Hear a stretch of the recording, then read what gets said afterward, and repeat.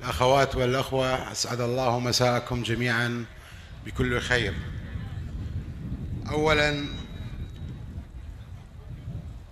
يبلغكم الأخ إبراهيم شريف والرموز سلاماتهم جميعا ويشدون على أياديكم ويقولون لكم صبرا فإن النصر قادم. الأعزاء قبل سفرتنا إلى الولايات المتحدة الأمريكية إلى واشنطن ولندن قبل أسبوع.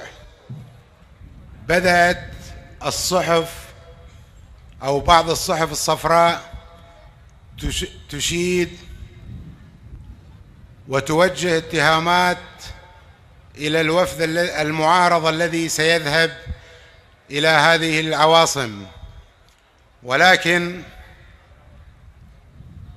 قلنا لهم بالفم الملآن نحن نعرف لماذا نذهب. نحن نذهب للخارج لكي نوصل أصواتكم وعدالة قضية شعبنا التي ستنتصر حتما.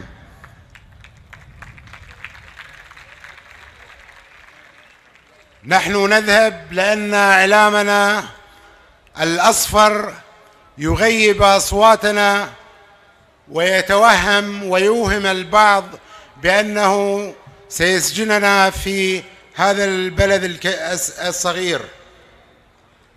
ذهبنا إلى أمريكا وبريطانيا لنقول لهم إننا نناضل من أجل العدالة ومن أجل حقوق الإنسان ومن أجل الحرية والديمقراطية والمواطنة المتساوية والدولة الديمقراطية التي تؤمن بأن المواطن بأن المواطنين متساوون في الحقوق والواجبات.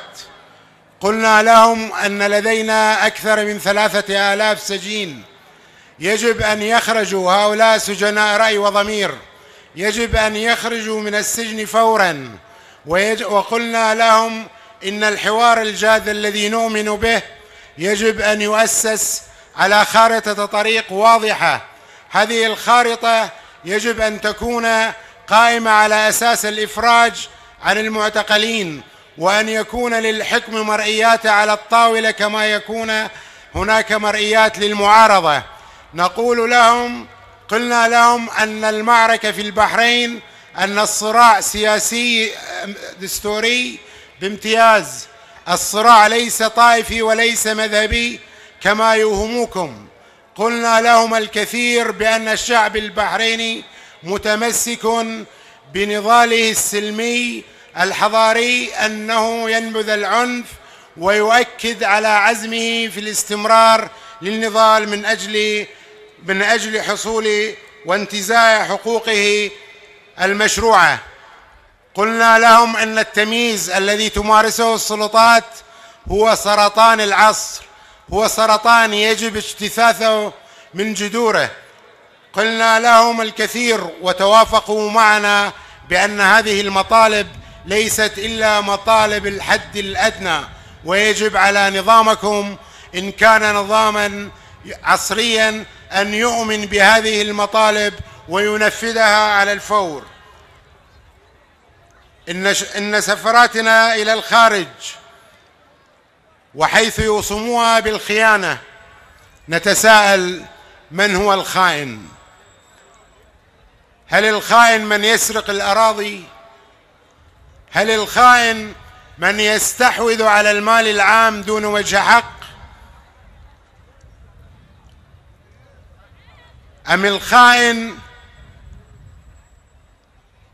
أولئك الذين يستولون على السلطات المطلقة على كل السلطات ويمارسون القتل خارج القانون ويهربون المال العام إلى الخارج بعد أن يسرقوه. نقول لهم إن الشعب البحريني مؤمن بقضيته. إن الخائن ليس هو من يسهر الليالي ليحصل أعلى الدرجات ومن ثم تسرق, تسرق منه بعثته للخارج. الخائن ذاك الذي يستحوذ على المال العام ويسيطر على كل الثروات والخائن هو من يضع خلف القضبان آلاف المعتقلين على آراء على خلفية آرائهم السياسية. نحن نؤمن بقضية بعدالة قضيتنا ونؤكد بأن قضيتنا منتصرة بكم فأنتم أنتم فقط الضامن الوحيد الذي يمكن لنا أن نسير به ومعه لكي نحقق انتصارنا. والسلام عليكم ورحمة الله وبركاته.